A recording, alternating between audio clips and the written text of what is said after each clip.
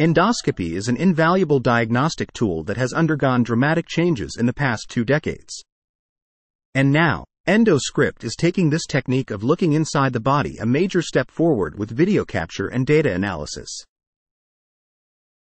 Over the past two decades, the endoscopy practice has advanced significantly. It's a field which is tightly regulated, technologically advanced, and absolutely essential to the treatment of diseases like cancer and new technologies have contributed to significant improvements in streamlining patient care. Biopsy results, which would usually take 24 hours, are now available almost immediately. The one stop clinic and direct access endoscopy service mean patients can be referred directly for a procedure by their GP and will leave hospital on the same day with a full diagnosis. All these service developments improve service delivery, improve the patient experience and the patient pathway.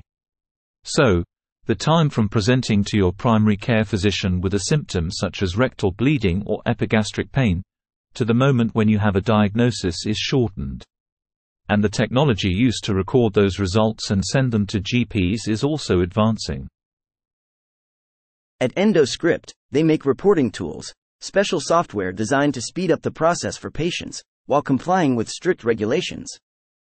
Instead of dictating long sentences, surgeons click their way through simple stages. A full report, complete with photographs, is generated within minutes and sent to the GP. High quality endoscopy reports are produced instantly, with the minimal amount of interaction with the computer. That software is now being improved and updated. EndoScript programmers are developing new features to further enhance the tool. The new interface is now compatible with touchscreen technology. Video can also be added to the report, which helps with the training of junior doctors. At the moment, if the list consultant wants to check the procedure, he's actually got to be in the room looking over the junior doctor's shoulder. Now he can review the video in his own time, so therefore EndoScript is making sure that it's keeping up to date with these technologies in order to provide the latest facilities to support endoscopy. The new scheduling module enables patient endoscopy interventions to be recorded in advance by adding them to available clinic lists for departmental endoscopists. By scheduling interventions in advance, patient lists will be populated and intervention referral detail will be available at the time of the visit. One of the main strength of the software is that it's been done in collaboration with leading gastroenterologists. It's not like programmers trying to develop software that we think users require. We've listened very much to the gastroenterologists and programmed accordingly, and of course, it's a very dynamic specialty and there are constant changes involved in endoscopy.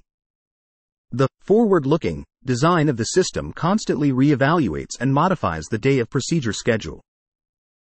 The platform used for the software is guaranteed to stay in the forefront of both the technology that currently prevailing and also the changes within the specialty, which can undertake its existence for at least next 20 years. It's a web-based software, which is more easier to maintain with independence of the operating system. Advances in therapy and the streamlining of patient care are contributing to huge improvements to the endoscopy service. Reporting tools which deliver effective and accurate information are key to ensuring the service remains a prominent leader on a world stage.